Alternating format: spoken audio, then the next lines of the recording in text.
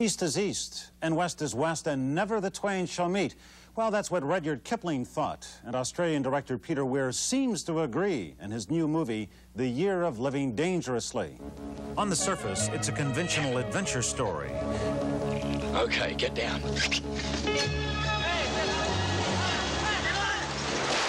An Australian reporter, Mel Gibson, arrives in Indonesia in 1965. The communists are threatening to overthrow the corrupt government of General Sukarno. It's not just another story, it's the big story.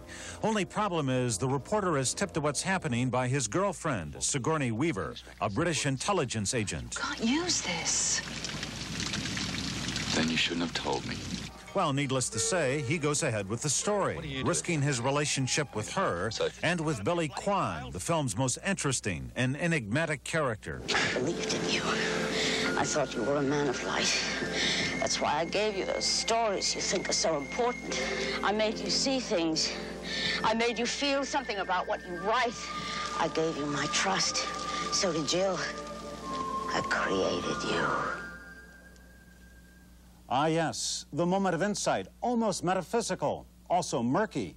This east west clash of cultures makes the movie intriguing, but it's best just as an old fashioned romantic thriller, the dawn coming up like thunder on the road to Jakarta.